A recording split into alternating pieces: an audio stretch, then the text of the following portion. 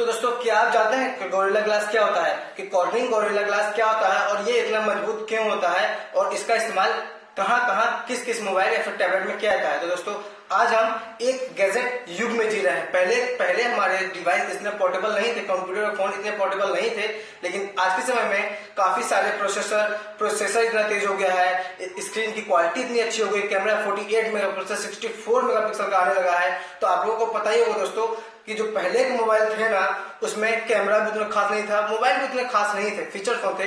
पहले जो feature phone थे, उसकी जो स्क्रीन थी, वो मोबाइल की जो बॉडी था ना, उसके अंदर इनबिल्ड हुआ करती। तो अगर आपका मोबाइल कहीं गिरता है फीचर फ़ोन तो आप लोगों को पता ही होगा कि स्क्रीन को तो ज़्यादा नुकसान नहीं होने वाला। बट आज के जो स्मार्टफ़ोन आने वाले हैं, या फिर आ रहे हैं अभी के जमाने में, हमारे इस गैजेट युग में, उसकी स्क्रीन और टच साथ ही साथ होते हैं। अगर आपका मोबाइल कहीं गिर भी जाता है तो आपके स्क्रीन को टूटने की अधिक से अधिक संभावना रहती है। तो इसी को प्रोटेक्ट करने के लिए एक ग्लास होता है दोस्तों, जिसको बोलते हैं Corning Gorilla glass but Corning तो दोस्तों ये एक कंपनी है।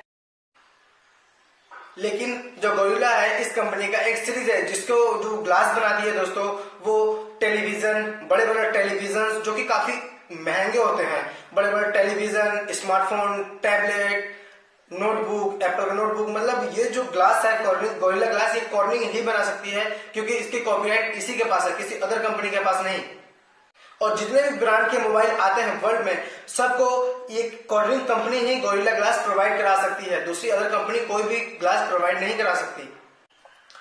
तो दोस्तों, आज हम इस वीडियो में बात करने वाले हैं गोरिल्ला ग्लास, क्या होता है, इसके क्या फ़ायदे हैं और क्या नुकसान है? इसको मोबाइल में यूज़ करने से क्या फ़ायदे होते हैं और क्या नुकसान होते हैं? नुकसान तो मुझे लगता कम ही होते हैं बट फ़ायदे ज़रूर होते हैं। तो दोस्तों, अगर आप मुझे नहीं जानते हो तो मेरा नाम है राकेश, आप देख रहे हैं टेक्निकल सिटी तो दोस्तों, मेरे चैनल को सब्सक्राइब करके बेल आइकन को प्रेस कर दीजिएगा, क्योंकि सब्सक्राइब करेंगे तो आपको मेरे वीडियो सबसे पहले दिखाई देंगे। तो दोस्तों, चलिए आज का वीडियो स्टार्ट करते हैं। तो दोस्तों, चलिए बात करते हैं इसके फायदों के बारे में। तो दोस्तों गोरिल्ला ग्लास अदर ग्लास के मुकाबले काफ़ी बेहतर एंड मज़बूत होता है। तो चलिए बात करते हैं इसके और फायदों के बारे में। प्रोटेक्टिव जो स्क्रीन होती है मोबाइल में इनबिल्ड आती है, वो स्क्रीन बहुत ही सुंदर और स्मूथ चलती है एंड ये एकदम स्क्रैच रेसिस्टेंट होता है। स्क्रैच अगर आप उसको ऐसे करोगे तो इसमें स्क्रैच बहुत ही कम आएँगे। मैं ये नहीं बोलता स्क्रैच प्रूफ होता है बट बट स्क्रैच रेसिस्टेंट होता है।